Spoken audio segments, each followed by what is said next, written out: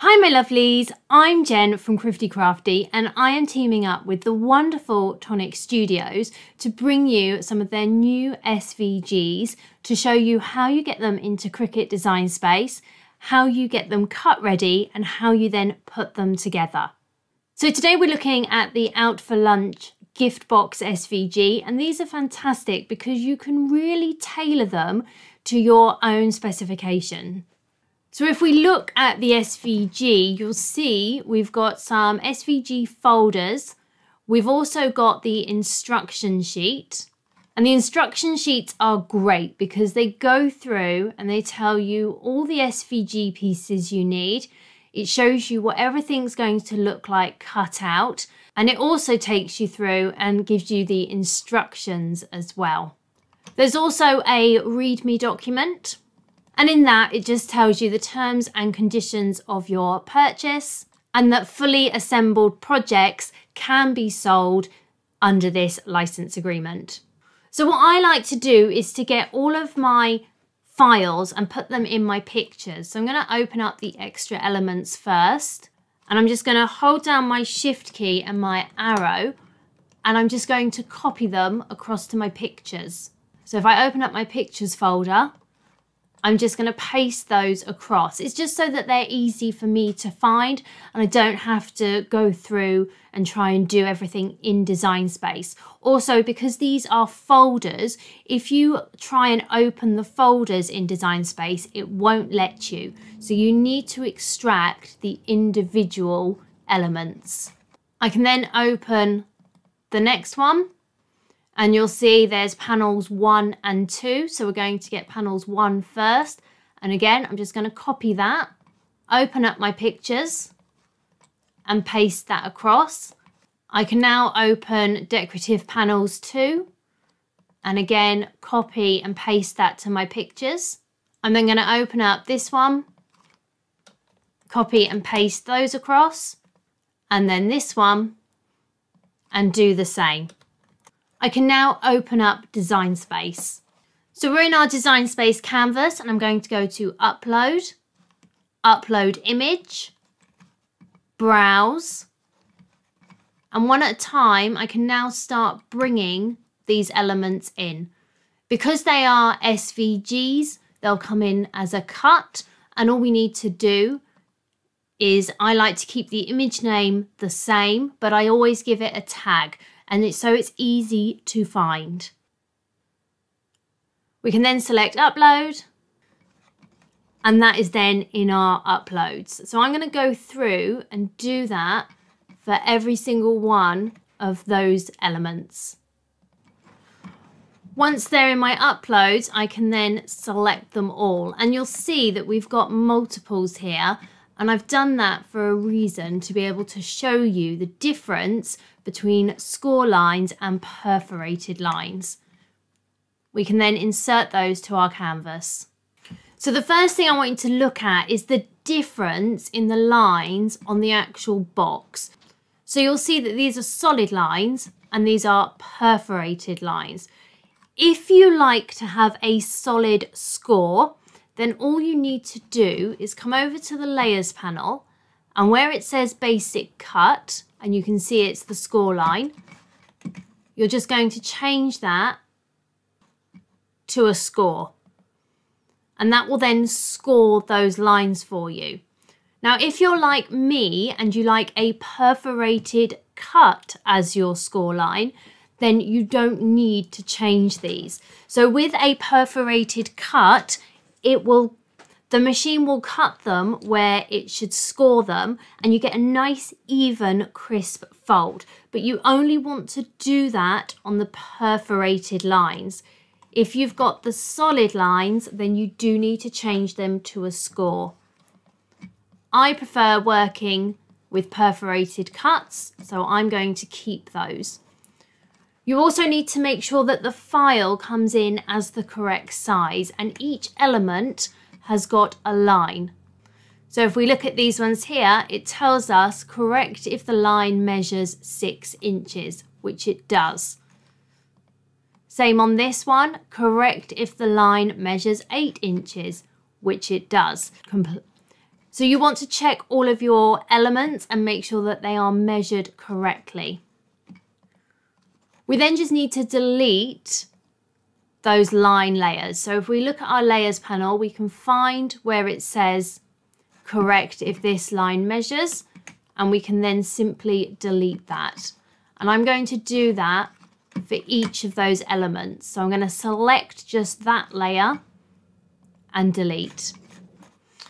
So we've got our actual box pieces, which we don't need to do anything to. And then we've got all of our embellishment pieces here. So these are great because they are so easy to change.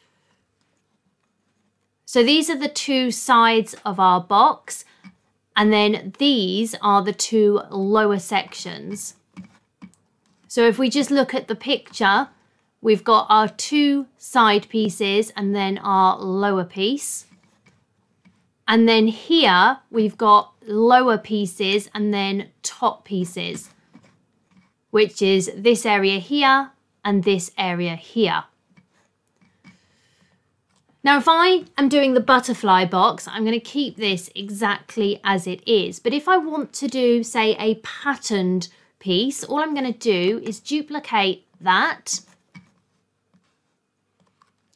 And I'm going to select each of the layers and come down to the bottom of my layers panel to contour. And I'm just going to hide all contours and that will then give me that solid shape. And I can do that for each of them. So I can then cut this out in a patterned cardstock or a patterned paper, or if I wanted to, I could slice my own design into that area. The same with this one. We've already got the lower pieces on the butterfly box, but this one here is for this box here, but I don't want to do that one. So for me, I would simply click on each of those layers, open up my contour, and again, I would just hide all contours. And because I've already got the lower pieces in the butterfly, I can actually just delete these ones here because I don't need them for this box. I am going to keep these though because I'm going to have them as a coloured cardstock behind my cutout one. So they are then going to sit like that and these are going to be a solid cardstock. I've then got some embellishment pieces so I can choose whether to cut those or not. I'm going to keep the little flowers and love circles but the rainbow and everything else I'm not going to cut so I can just select those and delete them. My butterflies I want to keep, but what I also want to do is if I just select one and duplicate it, and I get rid of that cut because I don't need it, if I select that and open up my contour, I can hide all my contours so I've got a solid butterfly So I can then have a two layered butterfly and I'm then going to duplicate that so I've got three of them. I don't want the leaves so I'm going to delete that. And I do want the little tag but I don't want this piece here. So again I'm just going to delete that. So what I now need to do is colour my pieces so they cut out on separate mats. So these butterflies I'm going to make purple. And these ones, if I draw around them, I can change them all at once. So I'm going to make those a yellow. These, let's make them a blue. And if I want half in one colour and half in the other, all I need to do is select that layer, ungroup it, so they become individual layers, and then I can change the colours. I'm going to make these a orange. My butterfly panels, I'm going to make, let's do a red. And then my under panels, I'm going to make those a, oh, I don't know, a pink. Now I need to make sure that any score or perforated cut lines are attached. So at the moment, if we look at our layers panel, they are only grouped. So when we go to make it, the lines are going to be on a separate mat. So we must make sure if we come down to the bottom of our layers panel and we select attach, that we attach them so that when they go to the mat, they stay exactly as you can see them. So always go through and any areas that you have got a score or a perforated cut, you must make sure that they are attached. Now we know that these are the minimum size they need to be, but I can in fact make them larger if I want to. I always select everything.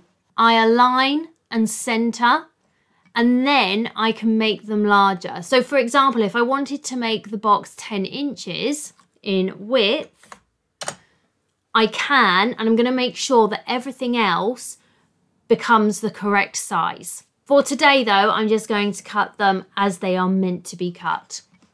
We can then go to make it and you'll see we've got all our individual layers there.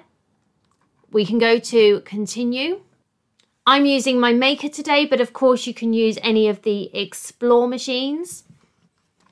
And then you need to browse all materials to select the appropriate cut settings. I'm using all tonic card today. I'm using some tonic pearlized card. I'm using some tonic glitter card. And I'm also using some tonic classic card as well. And on my machine, for all of those, I use the craft board setting. However, my machine does like to cut heavy. So normally with a glitter card, I would cut it on a glitter card setting. And then for the rest of the tonic card, I normally do a medium or a heavy cardstock.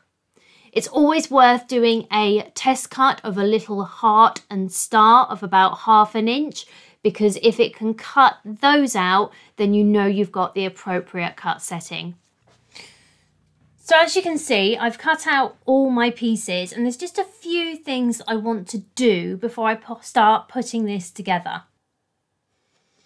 So with some of my classic white cardstock, all I've done is got some shimmer powders and then some water to create these beautiful effects. And they're just going to add a little bit of colour through my cutout pieces. So I've got some Lilac Waterfall, some Sunray Crozette, and some Cherry Bomb. I've got some water in my Nuvo spray bottle and I'm just going to spray some water. Now you don't need to squeeze these bottles, you literally just tap them. And then I just want to add a little bit more water just to spread that around. And then we're just going to let that dry until it ends up like something like that. The other thing is my glitter butterflies. Now these are going to be bent up. So you are going to see the sides and the back of them. Only a little bit, but I do want those pieces coloured. And if you look at my underpieces of my butterflies, because it's white core, you can see just a very thin line of that white peeking through. And I like to actually remove those. So I've got three pens here to help me. I've got the Nuvo glitter markers, I've got Aquaflow, and I've got some of the new alcohol markers as well. So what I do is I just use my glitter marker to come in and first of all, just go around the outer edge and remove that very obvious white line that's going all the way through. Now for any hard to reach areas, I either use my Aquaflows or I use the fine tip on my alcohol pens. For those of you that don't know how to use Aquaflows, you'll see there's a safety rim there. If we open it up, we're going to remove that safety rim and that can then go in the bin. We're going to screw this back on and we're going to remove the lid and then just make sure that that is nice and tight and this will prevent any of the ink leaking out. We can get a little bit out And because this is a nice fine nib, we can then get in all those hard to reach areas. I'm then just going to come in and just colour in the back. And I could use ink if I wanted to, but on this occasion, I'm just going to use my Aquaflow just to come in and cover up the white so that when I create that 3D effect with my butterflies, you're not going to see that white peeking through. So before I actually start putting my box together, I need to come in and glue all my panel pieces together. So now all my butterflies, my panel pieces, all my little embellishments, I'm going to come in and glue those. I'm a huge fan of Tonic Glue. I use all of their glues and also glue dots as well. But my favourite has to be the Nuvo Deluxe Adhesive. And I love this because it's got a nice fine nib. Once I've smoothed my glue on, what I like to do is just come in with my finger and just smooth it out so that when I put this down, I'm not going to have any glue sort of spurting out everywhere. So I'm just going to gently smooth that all over and then come in and glue that to that panel. And then what I like to do is put everything under a heavy book just for a couple of minutes so that it really has time to adhere. So before I put my box together, I just want to glue my panels on. It will make it a lot easier for me. So I'm just going to add some glue to there. Go right to the edges because you want to make sure that you glue it completely and then just smooth the edges out. You don't need to smooth the rest out, but it's always worth, if you're going right to the edge, just smoothing it out so again you don't end up with glue kind of squirting everywhere. I then sort of leave that just for a few minutes and normally I put them under something heavy again so that they really have got time to just stick. So we're now going to put our box together. So we've got our two larger pieces which are the sides of our box and then we've got our two smaller pieces which are the front and the back. So we're going to start with the two side pieces first and you want to come in and fold all of your score lines. And as I say, I much prefer perforated cuts because you do get a really nice crisp fold.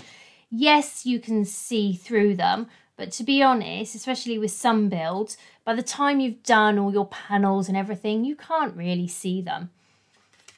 I'm going to turn them over and I'm going to glue these two squares together so that our sides can then stand up. So we're going to glue these two on top of each other. And again, I'm just going to be quite generous with the glue and go right up to those edges. And again, I then like to smooth out just the edges to make sure we haven't got any kind of pushing through. We can then line that up. Just glue those on top of each other. I always turn them over as well just to make sure that I'm lining them up correctly. And then I use my beautiful tonic mug that I put all my things I need to hand and I just put that down on there just again for a couple of minutes to let that glue really start setting. We've then got our two side pieces and again we want to come in and fold those perforated or score lines. That's going to go there like that. And that one's going to go there. And you'll see at the bottom, we've got these little tabs. So we're actually going to glue the tabs to the squares. So I'm going to get my first tab and just glue that. And again, go right up to the edge and then just smooth it out. And what I like to do is turn everything over and then get that placement perfect.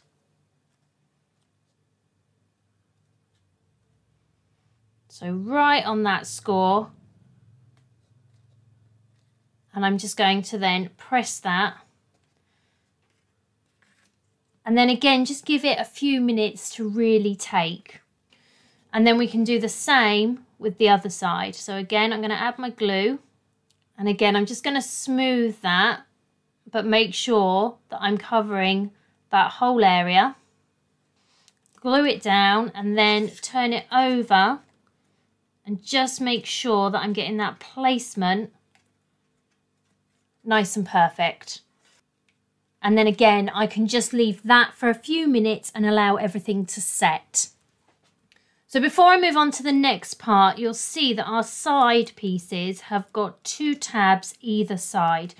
You want to fold those in and make sure that they sit inward of our side panels because what we're actually going to do is glue the tab on the inside of our side panels so we can create a box. So I'm just going to get some glue and add that to the tab. And again, I'm going to smooth it out and make sure that I've gone right to the edge.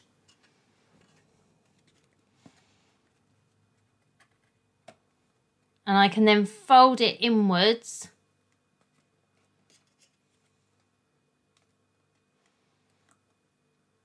And then just hold that in place, not for very long. It only needs a minute, a minute and a half to start sticking.